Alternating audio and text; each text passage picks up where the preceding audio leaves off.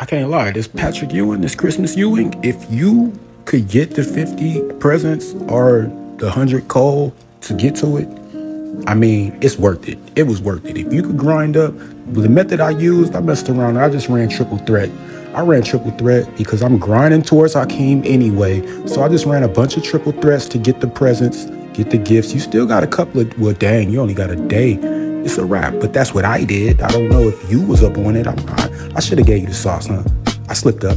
I slipped up. But that's what I did. Ewing is goaded though. Ewing is a goat. He's out here doing things that Ewing should be doing. You feel me? I mean, his jumper kind of slow, but uh, yeah. I mean, if you could time it, time it. I'd rather just shoot out, shoot out the corner with him. But the thing is, he has a high enough three ball where you can shoot with him. You can actually shoot with him. The jumper is trash, but he it can go in. If you learn how to time it, you got it. You know. He jumping out the gym. I went ahead and I put a shoe on him and gave him some extra vertical, I think. But he jumping out the gym. You can see that clear enough.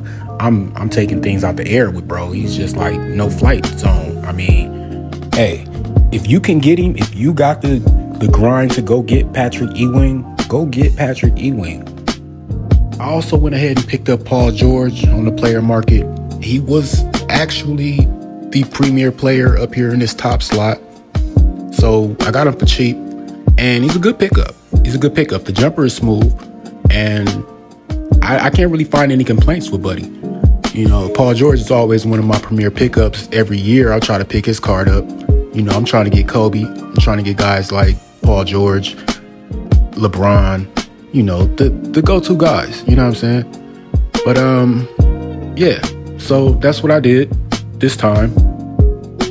Stay tuned for what I do next time. Like and subscribe and get with the business, bro. If you're not grinding, what are you doing? Go do something. Oh, and before I get out of here, this Diamond James Harden is a, a beast. Hey, go get this guy, put a shoe on him. You got a 99 three pointer and a 99 ball handle. And I mean, who could beat that? What are you gonna do without it? Go get James. Hey, Uno is him. Go get him.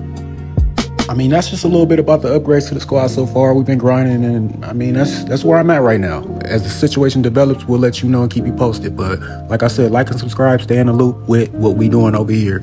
Yep. Oh yeah, we not done talking about this little freaky man here. Why are these people still on my court? 2K, can we get these people off the court?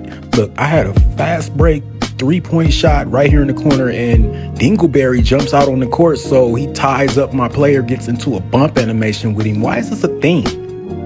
I give up a three point play because I get a bump animation from from the onlookers. Can y'all come on, bro? Come on. Come on, bro. You know my name, bro. I'm prime time and you taking the prime out the time, you taking my time, man, I, I don't have enough. I don't have enough to say about this. I'm gonna keep saying this as long as it keep happening. I'm gonna keep saying it, bro. This is not basketball. We are not looking for this. This is not what we asked you for. Can you please, please, I'm begging you, please, please get these people out of my way. Church Your boos mean nothing. I've seen what makes you cheer.